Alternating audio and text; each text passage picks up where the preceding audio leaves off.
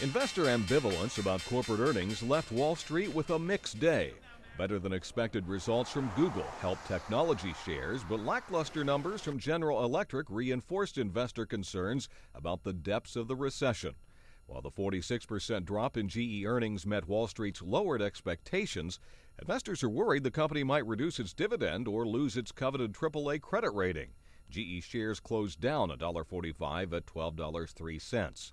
The Dow Jones Industrial Average ended the day down 45 points at 8,077. The Standard & Poor's 500 closed up 4 at 832. The Nasdaq Composite Index gained 12 at 1477.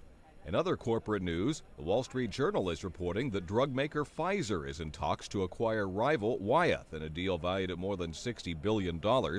Citing unidentified sources, the journal said the discussions have been going on for months, but that a deal is not imminent. Mark Hamrick, The Associated Press.